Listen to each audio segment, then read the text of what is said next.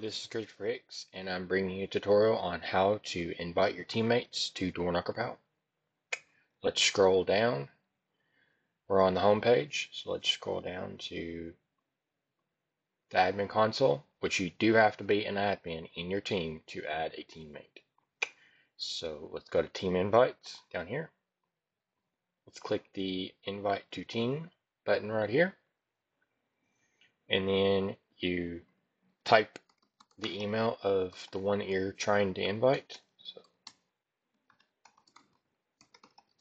I just made an email up on emocove.com.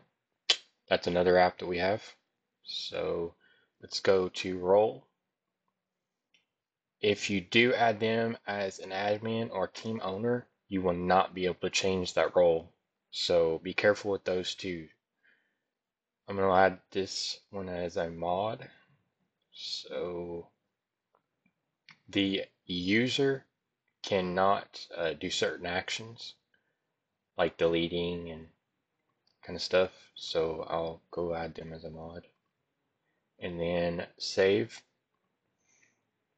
And then that will send an invite to that person and you will that person will accept it in the email and click the link and just sign up just as normal. So, hope you have a great day. Bye bye.